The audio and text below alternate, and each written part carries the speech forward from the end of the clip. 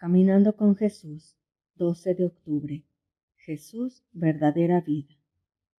Hoy Jesús te pone el ejemplo de lo que es. Yo soy la verdadera vid y mi Padre es el labrador. A todo sarmiento que no da fruto en mí, lo arranca, y a todo el que da fruto, lo poda para que dé más fruto.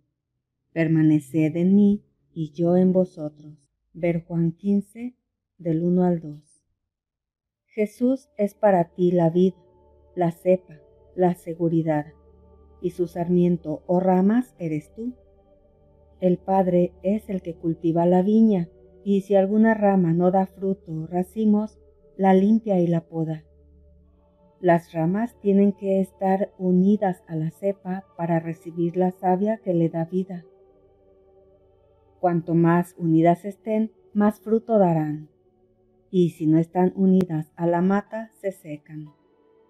Tienes que pensar que eres sarmiento del amor de Dios y que si tomas la savia de Él, tendrás vida, gracia, fuerza, crecimiento, y si por el contrario optas por vivir alejado de Dios, te secarás, no crecerás y estarás abocado a la muerte justa.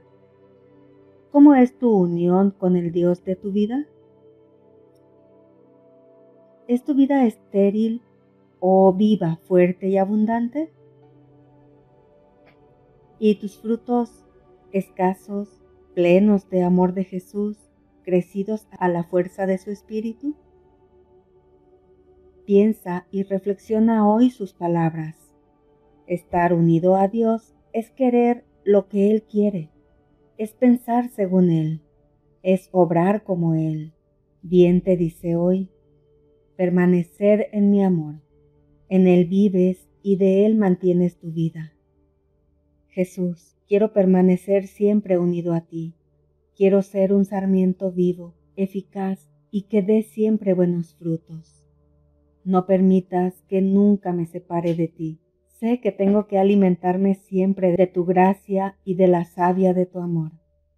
No permitas que me separe ni salga del corazón ardiente que inflama y da vida a mi existir.